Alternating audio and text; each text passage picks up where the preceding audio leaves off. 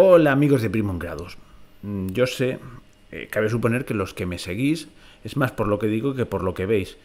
Y, sirva esto como disculpa porque posiblemente, fruto de mis experimentos para hacer más agradable la experiencia, digamos, visual, pues no lo acabo de hacer del todo bien. Y entonces veréis algunas deficiencias en el vídeo que viene a continuación.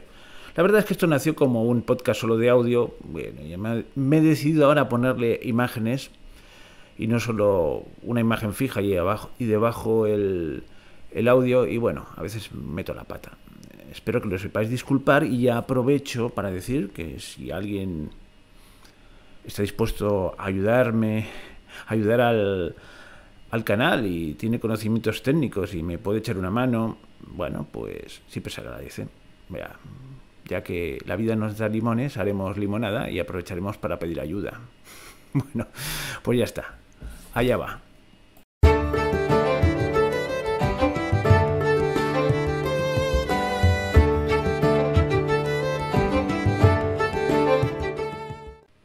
Bienvenidos a Primum Gradus, tu podcast de historia y humanidades en general. Os habla Ricardo Silvestre. Empezamos con este programa una serie, no sé los episodios que tendrá, dedicada a Michel de Foucault, a su pensamiento, a su palabra, a su vida y, y sobre todo, sobre todo, a la influencia que ha tenido en muchos pensadores modernos, sobre todo de la progresía, porque es la gran musa del progresismo, la gran musa de, lo, de las feministas de nuevo cuño, en fin, ya lo veréis a lo largo del desarrollo de los diferentes episodios. Y vamos a ir poco a poco en una búsqueda personal, porque este programa, una vez más, no es el programa de un experto, sino de alguien que se interesa por un tema y lo está estudiando, y en cierto modo es como retransmitir este estudio personal. Diréis, pues si no sabes para qué te metes, hombre, porque después de investigar y ver quién intentaba divulgar el pensamiento de Foucault, pues he encontrado cosas parciales, pero que no me acaban de convencer, entonces me he decidido a estudiar. Entonces, en este estudio que, voy a hacer en directo, pues me podéis acompañar como menos oyentes o bien con vuestras aportaciones. Podéis hacer las aportaciones por los medios clásicos. Espera que lo tengo aquí apuntado. Eh, sobre todo el número de WhatsApp, nunca me acuerdo de memoria. Bueno, pues bien, se puede hacer por medio del mail primumgradus.gmail.com o bien, y esto es lo que tengo que mirar aquí, que lo tengo apuntado, por el WhatsApp, notas de voz. 644-190223. Repito, 644-190223. Ah, con el 34, con el más 34 delante, si llamáis fuera de España. Eh, no me importan las rectificaciones eh, o, las matizaciones o, o los aportes de ideas. Ya os digo, es una búsqueda personal en directo. Y dirás, bueno, si no eres un experto y te pones a hablar, puedes liar a la gente. Eh, bueno, también una cosa que he descubierto es que mucha de la gente que habla de Foucault son expertos que parece que hablan para expertos. A veces, aún con imprecisiones, eh, como una primera aproximación, y este es el lema del programa, primum gradus, el primer paso, vale más un aficionado interesado y que habla en lenguaje normal que un experto que da muchas cosas por supuesto. Es una opinión personal y muy discutible, lo entiendo. Entonces, eh, pues eso, vamos allá. Eh, entonces, este primer programa, que a ver hasta dónde me llega, digo, porque no, no voy con una con un guion absolutamente establecido, aunque sí que tengo notas apuntadas, no improviso, ¿eh? Pues va a constar de dos secciones. Una, un- una breve panorámica de algunas de las ideas centrales de, que he podido encontrar que, que aporta Foucault a la- al pensamiento moderno y que son claves, a mi entender, y a mi entender solo no, al de muchos expertos. No voy solo en este camino, me he dedicado pues eso, a escarbar un poquito a lo que dice la gente. Y luego me he ido yo a las fuentes. Bueno, pues eso, un poquito una exposición general de algunas de sus aportaciones, no todas, no vamos a agotar el tema, así como presentación para sembrar el interés. Y luego pues iremos a base de citas analizando una obra, que es la que tengo más trabajada, que se llama Vigilar y castigar el nacimiento de la prisión. Entonces veréis que hay muchas citas y muchos comentarios. Entonces, cu- ¿cuáles algunas de las ideas principales que ha dejado Foucault sobre todo reflejadas en este libro Vigilar y Castigar. Tiene otros muchos, ¿eh? como Historia de la Sexualidad, Historia de la Psiquiatría, etcétera, etcétera. Pero vamos a centrarnos en este. Y lo demás, los detalles de su biografía y las otras obras, las, las haríamos hablando eh, a medida que vayamos comentando los fragmentos de Vigilar y Castigar. Bueno, eh, Michel de Foucault es sobre todo un estudioso del poder. Cómo, cómo, imponer, cómo el poder impone su, como ente abstracto, así es un poco curioso, va imponiendo sus ideas a la sociedad. Y para eso estudia cómo se, el poder pues, se afianzaba en la sociedad antigua, a base de cómo, del, de la coacción violenta, del castigo físico. Pero él ha descubierto que la modernidad, a raíz de la Revolución Francesa, básicamente, ha cambiado la táctica. Ha cambiado la táctica del poder. Ahora el poder no se impone a, bastonazos, sino de un medio, por un método más sutil. Bueno, el bastonazo es el recurso último de los últimos, pero lo que intenta el poder es seducir. A ver si, si me sé explicar así brevemente.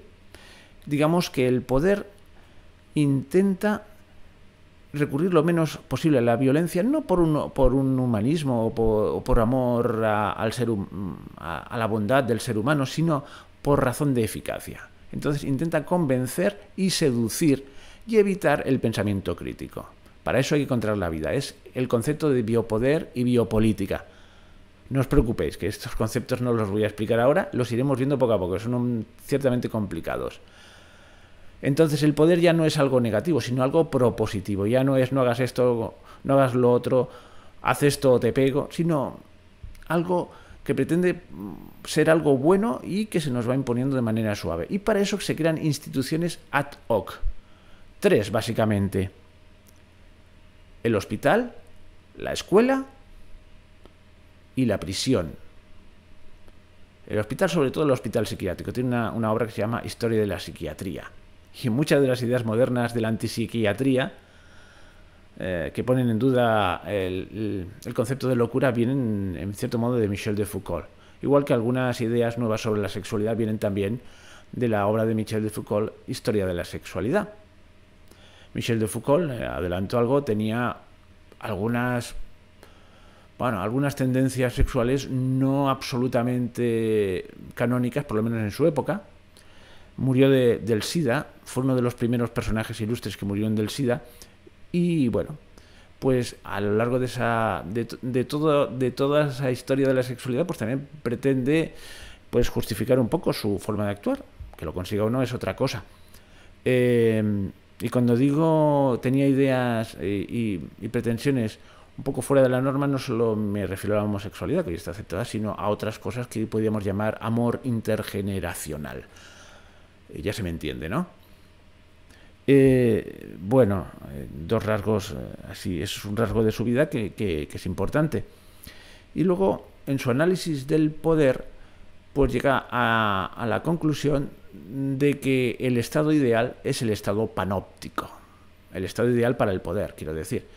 En, en, Vigilar y Castigar habla del panóptico. El panóptico no es un invento de Foucault, es un invento de Benham, un filósofo anterior a él, que ideó un sistema para controlar a los presos en la cárcel con la idea de rehabilitarlos. Ahí empieza ya el, asunto, ¿verdad? No se trata de castigarlos, sino de rehabilitarlos, de reconvertirlos. Y para eso tenían que ser vigilados de una manera eficiente, ser vigilados sin ser vistos.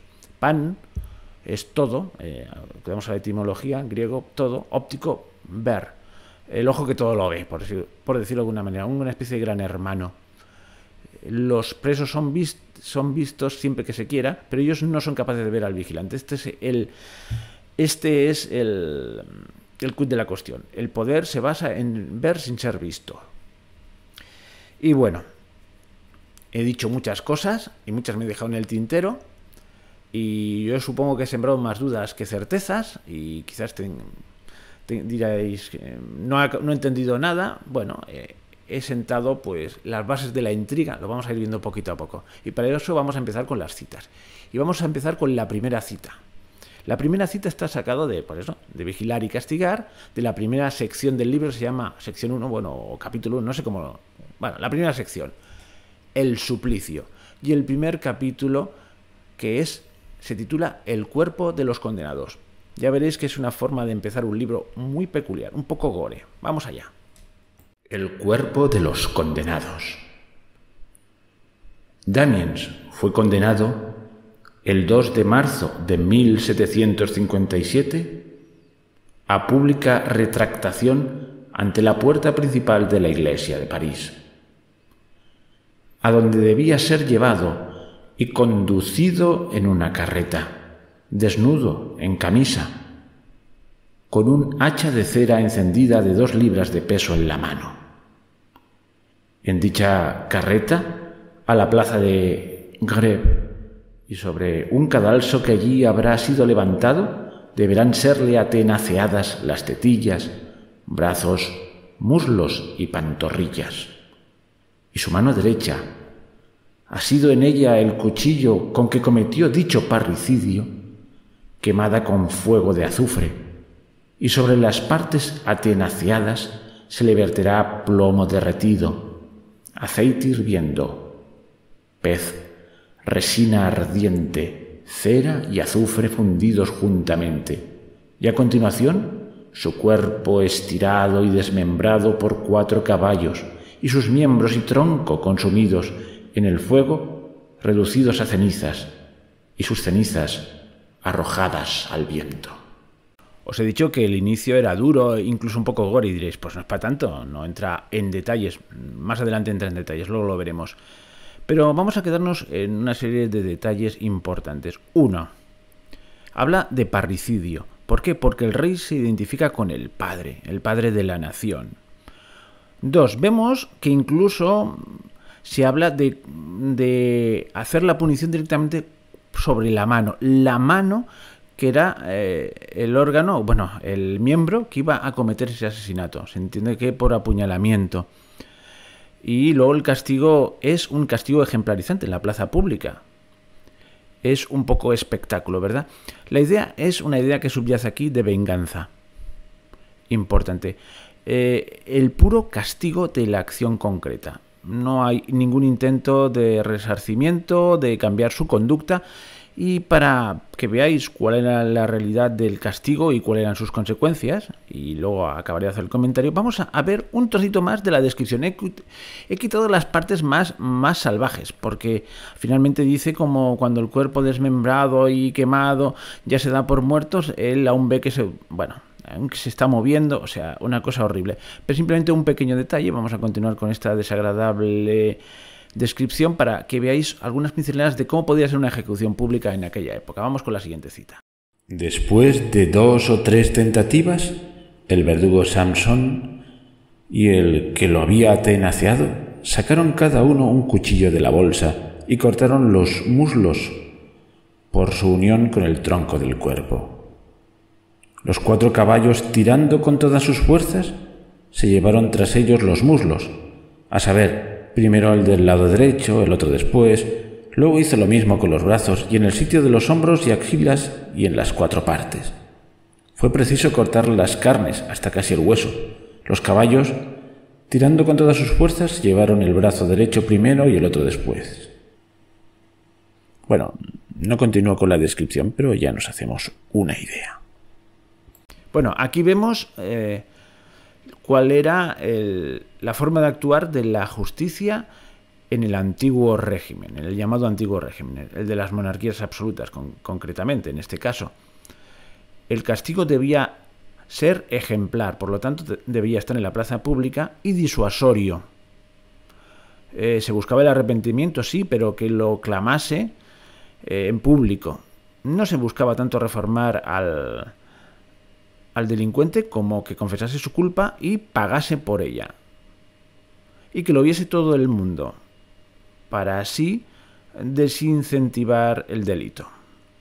Ahora bien, también tenía sus problemas esto, o tenía muchos problemas según Foucault. Primero, al ser público y al ser un espectáculo era poco práctico, requería un gran montaje, lo cual hacía que no fuese demasiado eficaz digamos que la mayoría de los delitos no, se dirimían así, sino con otras penas nunca de cárcel, o mayoritariamente no eran de cárcel, sino cosas más prácticas, las galeras, etcétera, etcétera.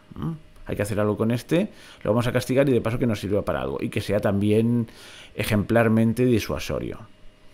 B. Ese espectáculo público, pues podía servir de escarmiento, pero también de recreación morbosa para muchos que se acostumbraban así a la sangre, lo cual no dejaba de ser peligroso para el poder, porque una persona así acostumbrada a la sangre podía recurrir a ella en caso de rebelión y sobre todo que eso espoleaba precisamente las rebeliones, porque los amigos y familiares del ajusticiado pues mm, no estarían muy contentos con semejante espectáculo.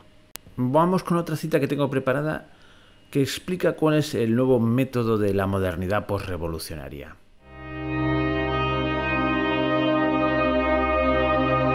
Después, inmediatamente después de describir con pelos y señales esa macabra sentencia pública, del pobre, ¿cómo se llamaba? Del pobre Damiens, pues viene otra cita interesante y que nos podrá parecer un poquito larga, pero que voy a leer íntegra. Porque es una descripción... Bueno, ya lo veréis. Vamos a ver. Dice así.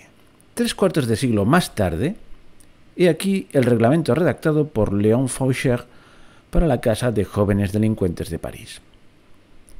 Artículo 17. La jornada de los presos comenzará a las 6 de la mañana en invierno y a las 5 en verano. El trabajo durará nueve horas diarias en toda estación.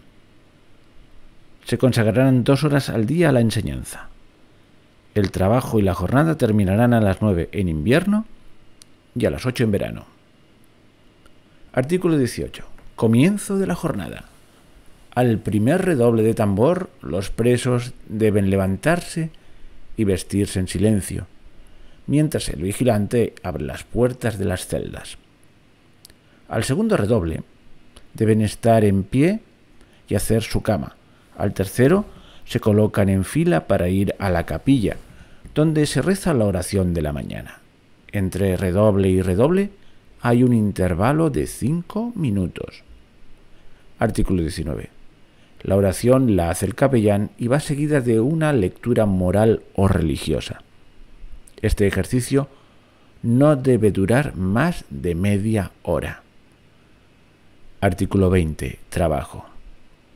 A las 6 menos cuarto en verano y a las 7 menos cuarto en invierno bajan los presos al patio, donde deben lavarse las manos y la cara y recibir la primera distribución de pan.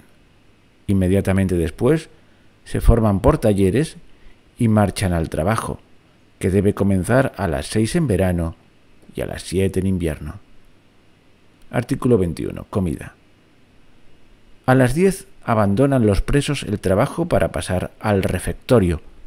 Van a lavarse las manos en los patios y a formarse por divisiones. Después del almuerzo, recreo hasta las 11 menos 20. Artículo 22. Escuela. A las 11 menos 20, al redoble del tambor, se forman las filas y se entra en la escuela por divisiones. La clase dura dos horas, empleadas alternativamente en la lectura, la escritura, el dibujo lineal y el cálculo. Artículo 23. A la una menos 20 abandonan los presos la escuela, por divisiones, y marchan a los patios para el recreo. A la una menos 5 al redoble del tambor, vuelven a formarse por talleres. Artículo 24. A la una, los presos deben marchar a los talleres. El trabajo dura hasta las 4. Artículo 25. A las 4 se abandonan los talleres para marchar a los patios, donde los presos se lavan las manos y se forman por divisiones para el refectorio. Artículo 26. La comida y el recreo que le sigue duran hasta las 5. En ese momento los presos vuelven a los talleres. Artículo 27. A las 7 en verano y a las 8 en invierno cesa el trabajo. Se efectúa una última distribución de pan en los talleres. Un preso o un vigilante hace una lectura de un cuarto de hora que tenga por tema algunas naciones instructivas o algún rasgo conmovedor, y a la que sigue la oración de la noche. Artículo 28. A las siete y media en verano y a las ocho y media en invierno, los presos deben hallarse en sus celdas, después de lavarse las manos y de haber pasado la inspección de la ropa hecha en los patios. Al primer redoble de tambor, desnudarse, y al segundo, acostarse. Se cierran las puertas de las celdas y los vigilantes hacen la ronda por los corredores para cerciorarse del orden y del silencio. He aquí, pues, un suplicio y un empleo del tiempo.